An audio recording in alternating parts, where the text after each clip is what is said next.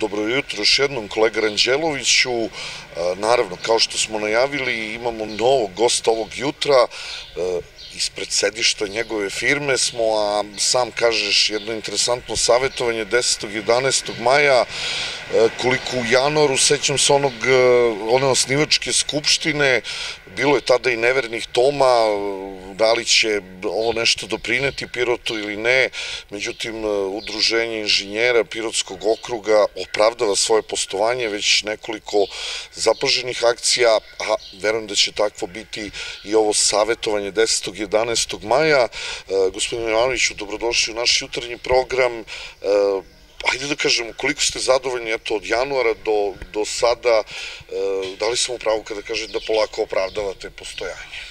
Pa ne bih rekao polako, baš veoma brzo opravdavamo ovo udruženje. Udruženje radi e, zaista dobro. Organizovali smo do sada dva savjetovanja, ovo je treće i ja bih rekao veoma jedno dobro organizovano savjetovanje sa puno gosti. Imaćemo ljude iz Beograda, iz Novog Sada, Niša, ljudi koji su u struci prepoznati ne samo u Srbiji, već i u Evropi.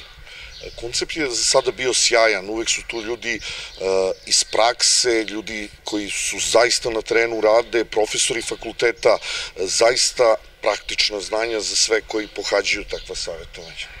Ja verujem da se sećate da sam ja i rekao, cilj ovog udruženja je edukacija, da stičemo nova znanja, da se družimo i da pritom naučimo ono što smo zaboravili ili nismo učili na fakultetu. E, naziv ovog savjetovanja je ocena stanja, sanacije i održavanje građevinskih objekata.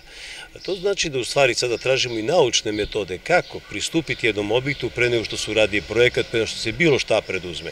I iza toga, kada se radi projekta dokumentacija, imat ćemo dobar put po kome ćemo moći samo da idemo. Kao što nam je autoput potrebno da bi komunicirali sa drugima, tako i ta naučna saznanja, odnosno praksa koju povezujemo sa tim, da će nam i omogućit će da radimo bolje projekte, da inženjeri koji se bave projektovanjem, izvođenjem radove iza toga, nezavisno toga u koji su branši. Da li su to građevinci, arhitekte, mašinski ili elektroinženjeri, svi oni to mogu da kumulativno skupe i da to primenjuju u praksi.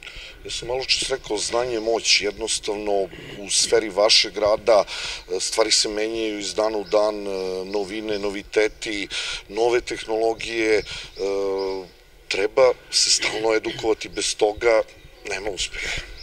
E, to je u suštini i cilj svega ovoga što radimo. E, ne samo što je to edukacija pa da se obnove znanja, već govorimo i o novim materijalima. Prošli put smo imali na jednom savjetovanju o PVC membranama. E, na ovom narednom savjetovanju govorit ćemo o kompozitnim materijalima koji zamenjuju armaturu u betonu. Govorit ćemo o materijalima koji se ne upotrebljavaju ili se veoma redko upotrebljavaju. Imaćemo zbog toga gosta iz Italije firmama PEI, profesori sa fakulteta koji su, bar meni, veoma mnogo poznati u praksi, koji su radili sijaset objekata, izveli puno objekata, pomoći u tome da nam prikažu kako možemo upotrebljavati te materijale. Znači, na jednoj strani imat ćemo prvog dana više teorijskih radova, a drugog dana više praktičnih. Čak ćemo se dotaći i do arhitekture Pirota, šta možemo učiniti u arhitekturi Pirota da zadržimo na kulturna dobra koja imamo i na koji način ih održavamo, naravno ne zaboravljajući i postojeće objekte objekte koji su, ne znam, stambene zgrade ili poslovni objekti ili industrijski objekti, kako njima pristupiti u rekonstrukciji i sanaciji. Da kažemo još malo o agendi, gde se sve održava četvrtak, 10. i petak, 11. maj. Uspeli smo uz pomoć hidroelektrane Piro da dobijemo prostorije za korišćenje, tako da ćemo u njihovoj svečanoj sali održati ovo savjetovanje.